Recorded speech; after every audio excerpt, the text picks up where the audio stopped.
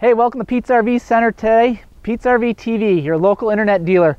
We get a lot of questions. People ask us, what's the number one selling trailer at your dealership? And uh, the number one selling trailer at our dealership is the Sprinter 2014 Sprinter 316 BIK by Keystone. We'll take a step inside. We've got we've got our trusted sidekick there, Randy. Randy is an expert on this trailer, sells more of them than anybody I know. He's going to take us through fit, construction, features, options like we have in the past. But this Sprinter is the number one selling trailer at Pete's RV Center, hands down. We'll take a quick look on the inside in just a minute and we'll find out, besides price, I mean, obviously Pete's RV Center is the leader in price, but we'll look inside and see why this trailer outsells all the rest. We'll get the formal stuff right out of the way first. Randy Murray from Pete's RV Center here, Sprinter specialist. As you guys have seen a lot of our other videos together, a lot of cool stuff going and on. trusted sidekick. And trusted sidekick, you got it. Um, people, as we talked about earlier, Sprinter 316 is just killing it. It's a great floor plan. You can see a little bit from the video here. Josh can pan over. We can see things like the island kitchen. We'll come back and just go over some things, but hard door on our front bedroom here. Just a lot of cool stuff. Randy, tell us a little bit, kind of get tactical here just for a little bit. Fit and finish of the uh, of this Sprinter here. What's the sidewalls? Sidewalls are going to be um, that welded aluminum cage that we've talked about in some of the other videos we've made. So it's the best way to do it. Uh, block styrofoam insulation keeps us nice lightweight, uh, keeps the cold in when we want the cold in, keeps the heat in when we want the heat in. Um, so it's the best way to do it, and I love to see it on the Sprinter product. A Little another side note: Sprinter was the original flagship of the Keystone RV Company. 16 so, years now. 16 years, yeah. Yep. The, it's a wonderful unit here. Um, up front here, you'll notice in the front here, this is one of the few trailers that has a big island kitchen. I mean, look at the countertop space in here. We've got a lot of space on this side here as well. I mean, we both can stand over here on this side if we wanted to. It's hard to see it in the video.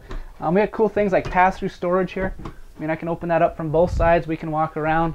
Um, Everything is back screwed back to the technical thing, so just a nice durable cabinet. I mean, we can slam the doors on that. It's not shuttering, just a very great way to put things together. Check that out, the recessed lighting as well. I mean, it, that's just a good sign of the quality and craftsmanship in this. It is, and it gives it a nice clean look, and it gives us lots of light over this rather than just like one that we would see in some of the other product lines out yeah. there the counter space in this is incredible. As you can tell, I like to eat, and we need a place to prepare that food.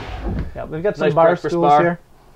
Randy, show us the sink on this. Deep bowl sink. I don't have one of these sinks in my camper, and I, I really appreciate this. Uh, we can fill a pot of water in here. There's no center divider. We can wash dishes in here. You can pull this out. Most RV sinks are a little bit smaller than we have at home, so having that center divider in there really limits what you can put in your sink. So great way to do it. That's metal too, not it plastic. It sure is, absolutely. It's going to last us a long time. It's a great quality, hot and cold. Very nice way to do it. Um, for all these that are interested in outlets and stuff like this, Josh probably can't grab it from the video, but these are GFI protected outlets in here built underneath. So if you want to plug your toaster and coffee maker, we've got more than one in the kitchen area. Josh can't see it from over there, but we got one next to the refrigerator here, six drawers back here. So you know, in bunkhouse units, we're always looking for a place to put stuff. Uh, we usually bring more than we need. We don't know who's going to be for guests. Kids are coming with friends and stuff like that. So always need extra places for extra stuff. You got it in this unit.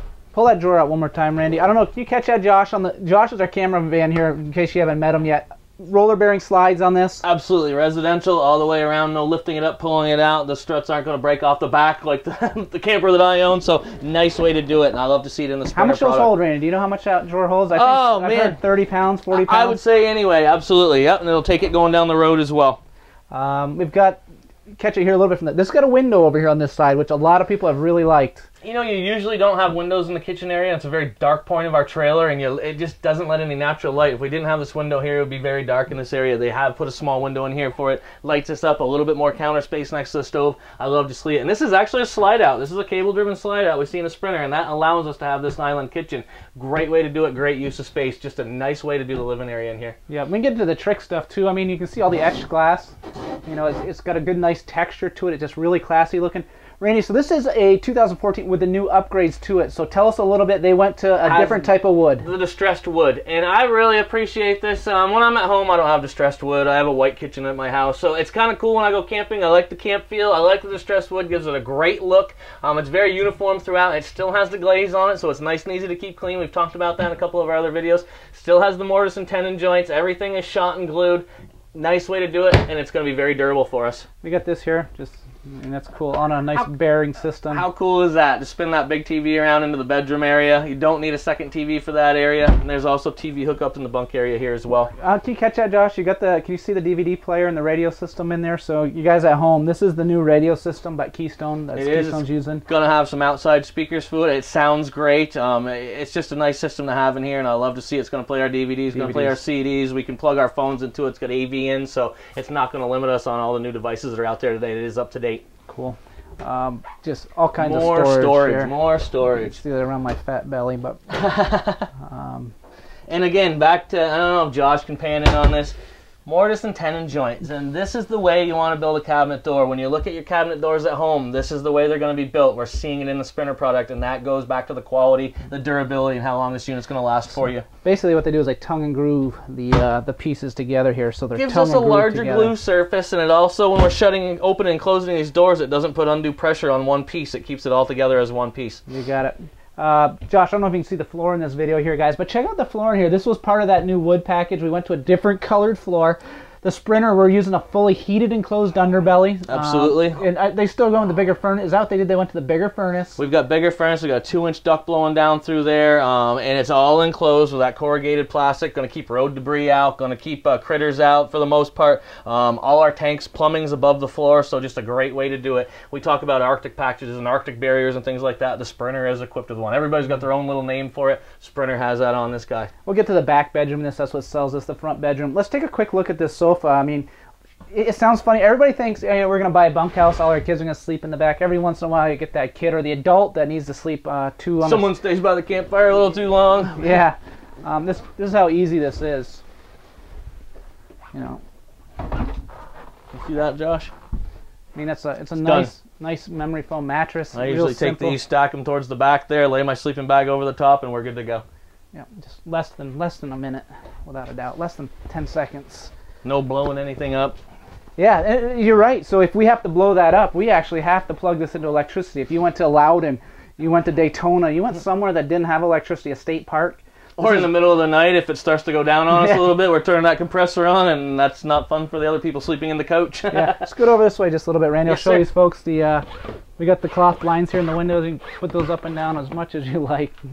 um, but point out, we've got a window that opens up, cross ventilation. in the slide box, that's wonderful. And back to what you just mentioned, the Loudon or the dry camping we do at our state parks where we can't run the generators all the time for the air conditioning. So it's very nice to be able to open windows across the camper. The window in the kitchen we can even open so we can get great cross ventilation there. Super deep slide on this too. I mean, it's not the shallow slide that we'll Yeah. see on some of the units out there. Um, interior dimensions about 40 inches it runs out. So just great way to do it. And it pushes our furniture out of the traffic pattern. So we've got plenty of place. If I'm sitting here at the breakfast bar, you can walk by.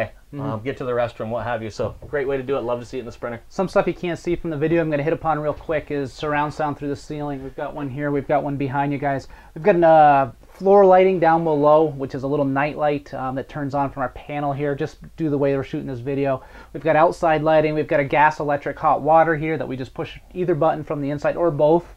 Um, That goes back to the sprint, uh, camping made easy by Sprinter that you're talking about. Our command center is all in one location. Our monitor panel is here. Our water um, heater is all controlled from here. Our water pump is controlled here. Ceiling lights, outside lights, floor lights. Um, we have a backup light on here that we can control from here. So that's an outside scare light. Both slides are run from here.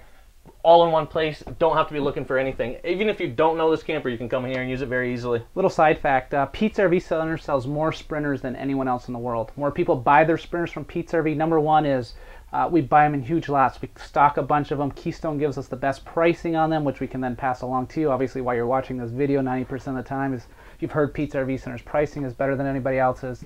Um, so it just gives you an option for that. We've got a lot of cool stuff I need to show in the bunkhouse back there. Maybe you can just mention this solid door You here on the know, front. and, and this is a derivative of those rear kitchen floor plans, uh, or, or not rear kitchen floor plans, but the bunkhouse floor plan with the outside kitchen. Hmm. Um, most of those do not have a hard door in them. They usually have pass away both sides with a TV in the middle. So it's not really a great bedroom for the parents. The kids have the great bedroom, don't have it here. This hard door here gives us a great bedroom area. We can close it off for privacy. Um, just a super nice way to do it. Plus, it gives us all that storage over there, which we don't typically see in these floor plans. You're right. Usually you got the pass through on both sides Exactly. and very little Yep. storage. So, what I'm gonna do is I'm gonna run them back to the back Yeah, bunk room man. and here, show them what's going on, and I'll meet you outside. We'll Sounds uh, good. show I'll go get a big outside, outside kitchen. kitchen. You got it. All right, man. back bunk room is what sells this. You can get the Sprinter two different ways. You can get it with their trundle bed system here. Um, the top bunk will always be the same. This can lift up. It pins from the side. Um, but down below on this particular model we're at right now, we've got the bigger trundle bed, their bigger bunk here, and then we have a trundle bed that I've got half pulled out underneath here that goes in and out. You can get this with a sofa in the back that makes into a bed, just like that one that me and Randy just demonstrated up front for that adult sleeping. These are 74 inches wide. It's a full width, full length on it. The top, the bottom one's actually a little bit, a little bit wider, as you can see from the video. One cool thing about these is the uh, the quilted top on them. They're very, very comfortable, very durable, and they're going to resist staining. Um, we've got a skylight back here. We've got outside windows back here. Um, we've got another bunk on this side. Um, can you catch us from the video there, Josh? I don't know if you guys can see this. 300 pounds is the weight limit on these bunk beds. You look at the other brands, they're like 150 pounds. I mean, heck, 12 year old kid weighs 150 pounds nowadays. So that's a good sign of better quality products. So be careful when you're shopping. You're gonna you can buy something that you can't use. We've got all kinds of storage here on this side here. We've got a little ladder that's to pull out. Um, it's hard to see there with the curtain. All kinds of storage. And we got that bunk bed on this side as well. So skylight. One thing I want to mention too, the Sprinter has gone to the taller ceilings in here, so you get a lot more head height, especially on this bunk over here. You get more head height and also gives us taller slides. So pretty cool feature that Keystone's been using on the Sprinter. So let's go back out. We'll meet up with Randy. And we'll check out uh, some cool features on the outside of this one.